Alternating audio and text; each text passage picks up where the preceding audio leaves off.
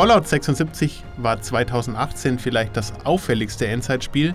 Das beste Endzeitspiel 2018 heißt aber Mutant Year Zero, sagt zumindest mein Kollege Christian Schneider. Fritz, was ist denn so toll daran?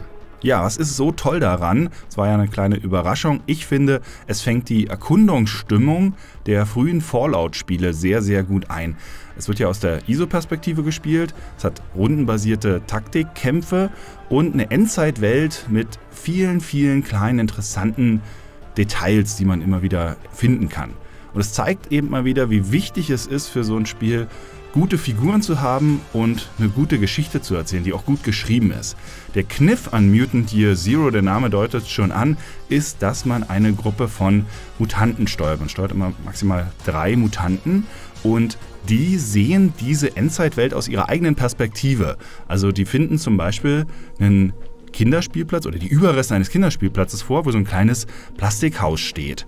Und dann gehen die hin und wundern sich, was, wie kann denn das sein? Wie konnten denn diese Leute so klein sein, dass sie da drin leben konnten. Was waren denn das für, für Verhältnisse? Oder dann finden sie irgendwie eine Boombox, also einen, einen Kassettenrekorder und sagen, um Gottes Willen, drück da nicht auf die rote Taste, das Ding heißt Boombox, es wird eine Bombe sein, es explodiert dann natürlich. Bei jeder Entdeckung kommst du an den Punkt, wo du sagst, ich weiß, was das ist oder was das war früher mal, aber was werden die dazu sagen? Wie werden die das einschätzen? Was werden sie glauben, was das war? Und das ist ein toller Griff, um diese Welt aus einer anderen Perspektive nochmal erleben zu lassen. Denn so das klassische Endzeit-Szenario ist ja doch durch die Fallout-Serie, finde ich, ein bisschen abgegriffen. Eigentlich hat man da alles schon gesehen. Und jetzt kriegt man nochmal einen frischen Take auf die ganzen Sachen, indem man einfach andere Leute erzählen lässt, was diese Menschen damit früher wohl so gemacht haben. Hinzu kommt, dass das alles handgebaute, verhältnismäßig kleine Level sind, die man über eine Weltkarte besucht, also auch ein bisschen so wie Fallout 1 und 2. Viele, viele Details drin hat, auch grafisch richtig toll aussieht. Also man kann die Umgebung zerstören, Deckungen, Häuser. Es gibt sehr hübsche dynamische Beleuchtung, es gibt wahnsinnig viele so ähm, ja, äh, kleine Situationen, die man finden kann. Und die Figuren selbst sind auch richtig, richtig hübsch gestaltet. Man sieht jede Rüstung an ihnen und die geben natürlich dann auch verschiedene Stats. Rundentaktik, äh, das Kampfsystem orientiert sich also an XCOM. Macht es denn auch was neu? Ja, und das ist auch was, was richtig gut gelungen ist, denn äh, Mutant Year Zero schafft es, das Spielsystem von XCOM zu übernehmen und um wirklich gute Stealth-Funktionen, also Schleichfunktionen zu erweitern, die endlich mal richtig gut funktionieren. Damit kann man nämlich Überfälle machen. In der Regel erkundet man die Level in Echtzeit.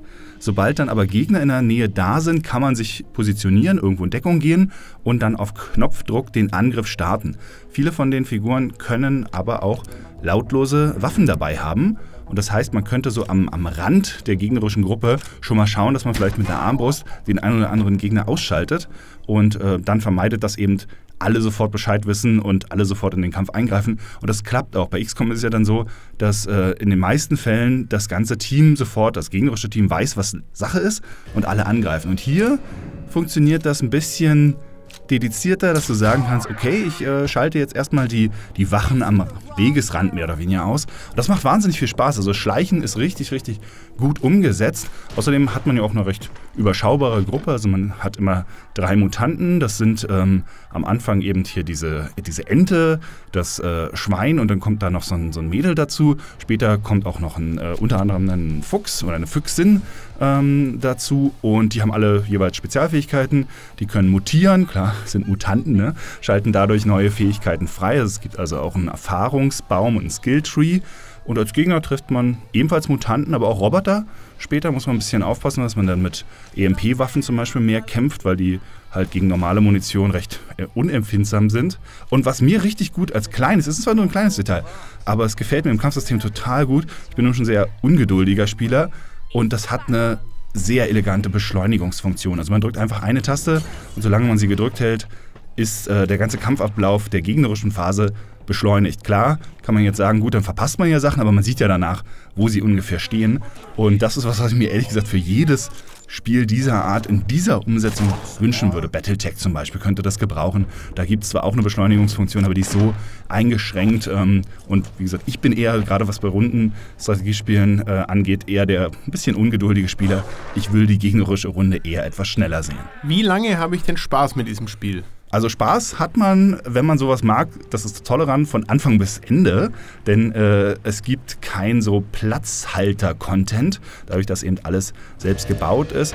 Nachteil daran ist kein Zufallssystem, sondern durch den Story-Fokus wirklich ähm, ja, mehr oder weniger ein Level nach dem nächsten. Gibt so ein paar abweichende Wege, die man gehen kann, so als Zusatzaufgaben.